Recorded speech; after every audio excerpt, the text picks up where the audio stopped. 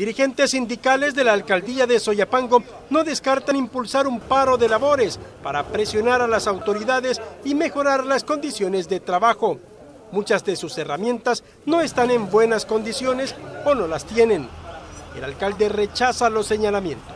Creo que es una irresponsabilidad señalar a los trabajadores de que el municipio está sucio por culpa de ellos, porque son araganes, no son araganes los compañeros. El problema es que no hay camiones. Aquí vienen a dejar un camión que hace su recorrido y están peleando por ver quién no agarra. Entonces, para que un trabajador pueda desempeñar sus funciones a cabalidad y cumplir con sus obligaciones, es necesario que se le doten de las herramientas en buenas condiciones. Eh, muchos de ellos orientados por partidos de derecha, en este caso, creen que pueden eh, sacar raja política de esto. Agradecemos la actitud de los trabajadores responsables, no así la de algunos que todavía andan ahí viendo que cómo se acomodan, ¿verdad?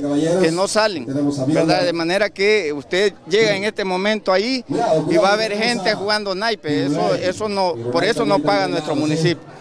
También agentes del CAM denuncian acosos de despidos y cobros no autorizados que se los descuentan en planilla. el momento de la gente se le dice o firmas o te vas y los agentes que ahora ya no están de acuerdo a, esta, a este descuento respectivo en base a siendo político, ellos se les está ahorita amenazando que si, si, retiran este descuento serían despedidos. Eso es una situación voluntaria, a nadie le ponen una pistola. Yo doy mi aportación al partido y no por eso voy a estar ahí diciendo y, que es bastante eh, significativa. Y aquí, eh, de mil trabajadores, le aseguro que quizás serán del partido unos 100.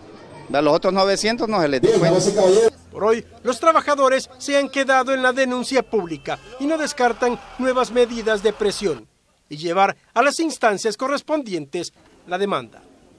Con imágenes de Eric Alfaro, un reporte de Luis Alberto López.